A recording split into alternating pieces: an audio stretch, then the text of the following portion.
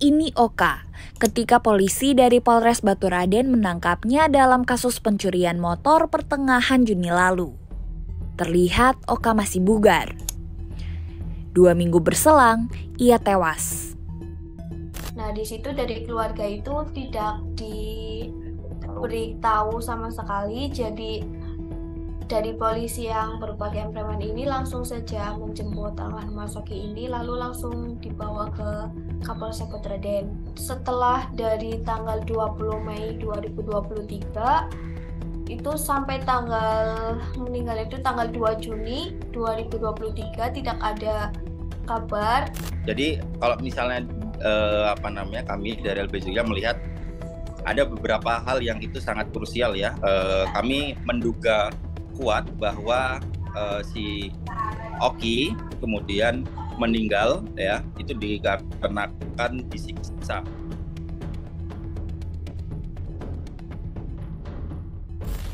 Rekaman penangkapan Oka menjadi salah satu konten polisi yang tayang di stasiun televisi swasta.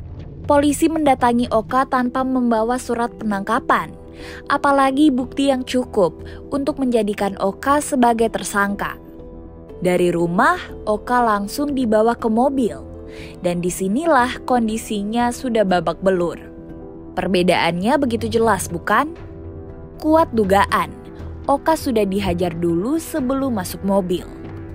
Di dalam mobil, polisi turut mengeluarkan ancaman. Penangkapan dan penahanan Oka sejak awal memang syarat masalah. Pihak keluarga misalnya dihalangi untuk melihat Oka Polisi menyatakan bahwa Oka baru bisa dijumpai setelah 20 hari ditahan.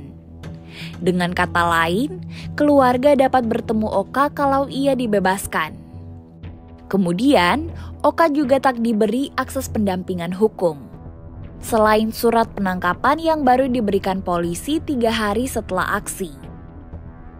Kejanggalan demi kejanggalan membuat keluarga Oka bertanya-tanya Sampai akhirnya kabar itu datang. Oka meninggal dunia. Versi polisi, Oka meninggal karena penyakit komplikasi. Keluarga tak percaya dan memaksa untuk melihat jenazah Oka. Sekujur tubuhnya penuh luka, seperti akibat benda tajam. Kondisinya jelas jauh berbeda ketika Oka pertama kali ditangkap. Polisi bilang luka-luka itu disebabkan oleh tahanan lain. Pertanyaannya, dari mana tahanan memperoleh senjata? Pihak keluarga pun melawan. Mereka meminta rekam medis dan CCTV kejadian Oka disiksa tahanan lain. Mereka tak pernah mendapatkannya. Tewasnya tahanan seperti kasus Oka adalah kenyataan kelam yang menjadi wajah penegakan hukum di Indonesia. Dan dugaan keterlibatan polisi kian menambah kelam kenyataan itu. Salah satu kejadian yang menyita perhatian yakni terjadi pada 2019 di Makassar. Kala itu, kakak Ernawati Kaharudin Sibali ditangkap polisi dalam kasus pencurian. Saat ditangkap, Kaharudin masih sehat. Namun pada hari yang sama kabar buruk mendatangi Ernawati. Kaharudin tewas. Sama seperti Oka, tubuh Kaharudin juga dipenuhi luka dan lebam. Polisi membantah telah terlibat dalam dugaan penyiksaan ke Kaharudin. Bagi Ernawati, itu tak cukup. Ia pun menuntut transparansi dengan memposting konten di laman platform disertai tagar percuma lapor polisi. Konten-kontennya menunjuk tiga polisi yang diduga jadi pelaku penyiksaan Kaharudin. Nasib Ernawati lantas berakhir jadi tersangka UU ITE. Siapa pelapornya? Polisi. Data dari YLBHI selama 2010 sampai 2022 menyatakan bahwa penyiksaan selama proses penahanan lazim terjadi. Ada sekitar 105 kasus kekerasan sewaktu penahanan dan 35 pembunuhan di luar hukum. Data ini dikumpulkan dari laporan masyarakat ke 15 kantor cabang LBH di seluruh Indonesia. Temuan kontras yang dihimpun selama Juni 2021 sampai Mei 2022 turut memperlihatkan hal serupa. Ada 50 kasus penyiksaan yang terjadi selama periode itu. Sebanyak 30 orang tewas dan 93 lainnya luka-luka.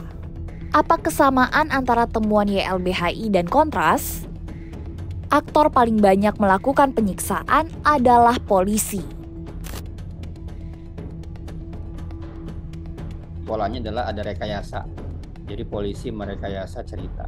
Kekerasan yang diduga melibatkan kepolisian mempunyai pola yang dapat dipetakan dan ini bisa diamati di setiap kasus. Penyiksaan terhadap tahanan senantiasa diawali dengan penangkapan tanpa surat resmi. Ini terjadi di kasus Oka dan kakak Ernawati. Kemudian, polisi mempersulit anggota keluarga untuk melihat kondisi tahanan. Ini belum termasuk sulitnya akses pemberian pendampingan hukum kepada tahanan. Lalu, ketika tahanan sudah meninggal, polisi tak pernah transparan, seperti meminta keluarga untuk langsung menguburkan. Ini adalah taktik untuk menutupi kondisi tahanan yang sebetulnya bahwa tubuh mereka dipenuhi luka penyiksaan dilakukan secara intens sampai akhirnya tahanan memberikan pengakuan. Dan kalau di kon undang konvensi anti penyiksaan ya, di Undang-Undang 598 itu ada dua hal, menggali keterangan dan menggali pengakuan. Itu biasanya juga momentum ya. Dan biasanya kalau di gitu tuh kejadiannya pelakunya lebih dari satu, polisinya nggak satu gitu, tiga empat pemeriksanya ya polisi senantiasa menyodorkan faktor lain seperti sakit sebagai penyebab utama tahanan meninggal. Mereka selalu membantah bahwa anggotanya terlibat dalam dugaan penyiksaan terhadap tahanan berujung meninggal. Ya, saat penangkapan dan pemeriksaan tadi diperparah oleh sebenarnya mereka menahan kan. Jadi kepolisian berhak menahan dan menahannya di kantor polisi sendiri itu juga parah, makin parah. Jadi polis detention center itu kesalahan besar dalam penahanan karena mereka bisa melakukan kapan pun. Kekerasan terhadap tahanan serupa siklus yang terus berulang, dan kita bisa melacaknya melalui beberapa faktor. Police violence is a result of police impunity. Itu tadi Jackie Baker, dosen sekaligus peneliti dari Murdo University. Hasil risetnya beberapa kali menyoroti masalah yang melekat pada institusi kepolisian.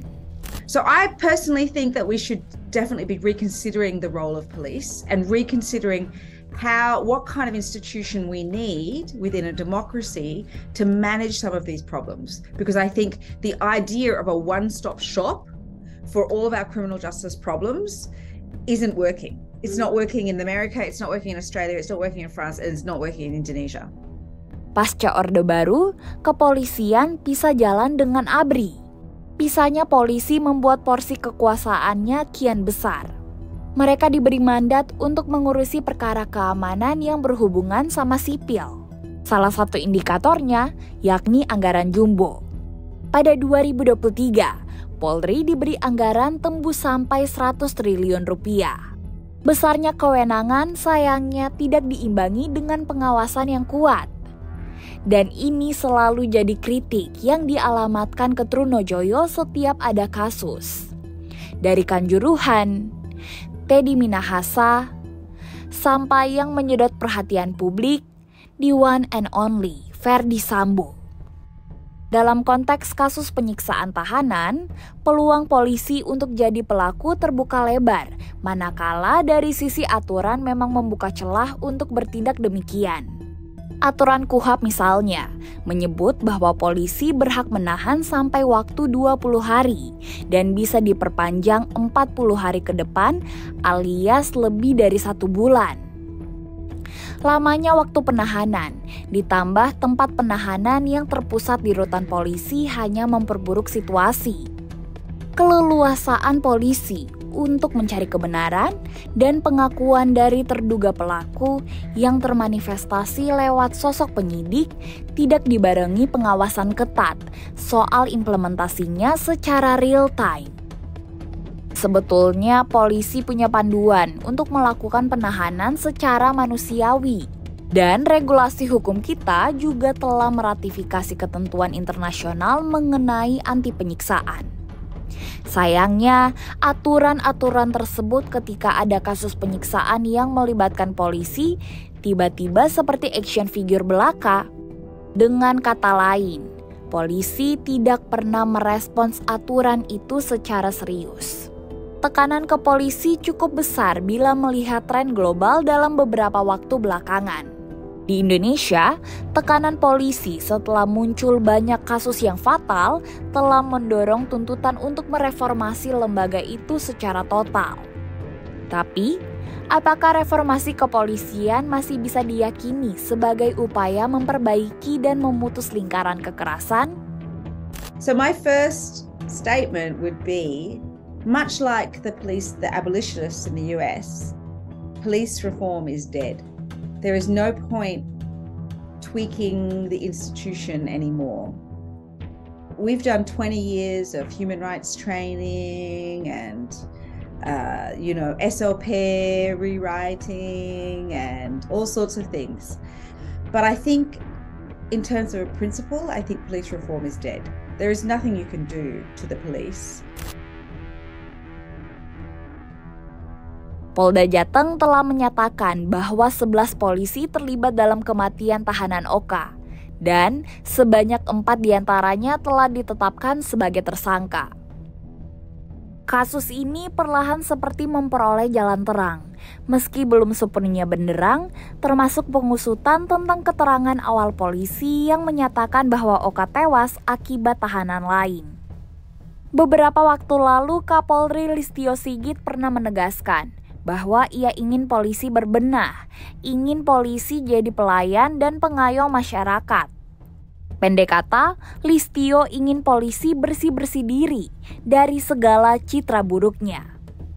Namun, ketika kasus Oka, pemuda dari kota kecil Banyumas yang ditangkap tanpa alat bukti dalam kasus pencurian dan berakhir tewas mencuat ke permukaan, rasanya kita perlu sekali lagi bertanya kepada orang nomor satu di Polri.